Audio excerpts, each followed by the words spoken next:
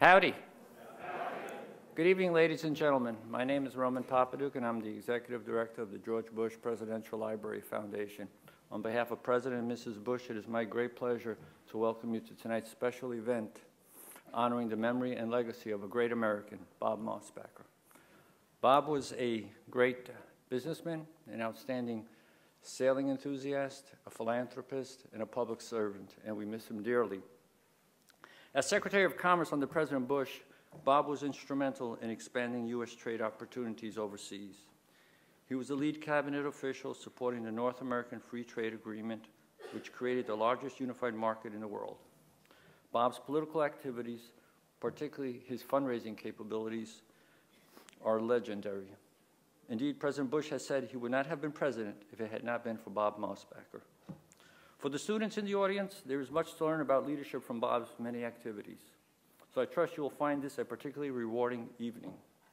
Bob's dedication to education was evident from his support of the education programs at the Bush Library, particularly his efforts in helping to attract students from the Houston area. His public service and support of education were recognized with the creation in 2009 of the Mosbacher Institute for Trade, Economics, and Public Policy at the Bush School. The Institute focuses on domestic policy challenges that face the United States and serves as a vehicle for learning and research. We have a number of special guest speakers today to honor Bob's memory. We are honored to have the First Lady of the great state of Texas, Anita Perry. Also joining us is Jim McGrath, co-author of Going to Windward, a Mosbacher family memoir, which he will be discussing later on this evening. I want to take this opportunity to also recognize a number of other special guests. Ambassador Ryan Crocker, Dean of the George Bush School of Government and Public Service. Is Ryan here someplace? He's back here, okay. Um, we have uh, the director of the Mosbacher Institute, Professor Jim McGrath. Jim, uh, I'm sorry, Jim Griffith. I'm sorry, Jim. Uh, okay. You could go by McGrath if you like. I've got you a lot of publicity now, that's for sure. Uh, Bobby Holt, member of the board of directors of the Bush Foundation. Bobby's over here.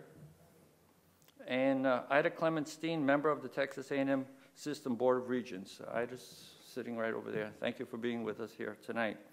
At the conclusion of the program, I ask that you join us in the lobby for book signing and reception. Uh, our program is being live streamed on the Bush Foundation website, and so a special welcome to our web viewers. I mentioned that Bob had a successful career, but no part of his life was as important as his family. Bob lived for his wife and children. I am glad that his wife, Mica Mosbacher, will be one of our speakers tonight. Also joining us are two of Bob's children, Rob Mosbacher and Lisa Mears. Rob follows in the finest traditions of his father.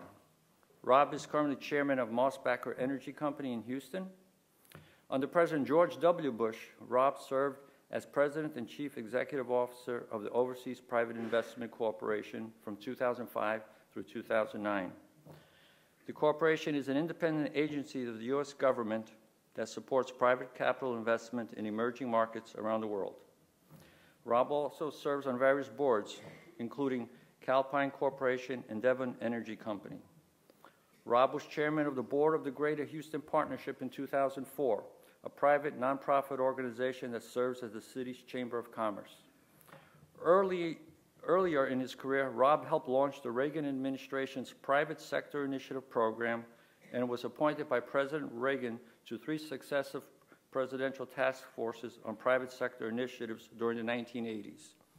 He served on the board of the Texas Department of Human Services from 1987 to 1991 and as its chairman from 1989 through 1991.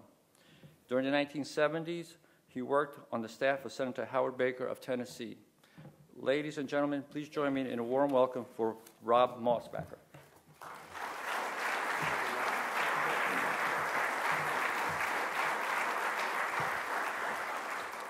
Roman, thank you very much. Ladies and gentlemen, thank you. It's a, a treat, delight, honor to be here. Uh, we have several people following me, and so uh, I want to be judicious with my time. I, I want to thank several people. First, as you uh, have a chance to look at Dad's book, and I commend it to all of you who haven't, uh, haven't seen a copy yet. What is very, very clear uh, throughout the book is the importance in Dad's life of George and Barbara Bush. And uh, the president was kind enough to say maybe he wouldn't have been president without uh, the help my father and many others provided in the way of helping uh, raise the funds necessary to run a competitive presidential campaign. Uh, but you know what, what we would say to that is uh, that there was no greater honor for Dad uh, than to have served with President Bush and to have been part of that team, and he loves, uh, loved both of them uh, dearly. And I would say as well that um, he, when, when I have people write letters to me who have seen the book and read the book, they sort of provide the highest compliment possible to not just Dad, but also to Jim McGrath, uh, the author of the book with Dad, and that is that they say it's Bob talking. It's I can hear him speaking, and that capturing that sense of, of Dad is, uh, you know, sort of the essence of what you're trying to do.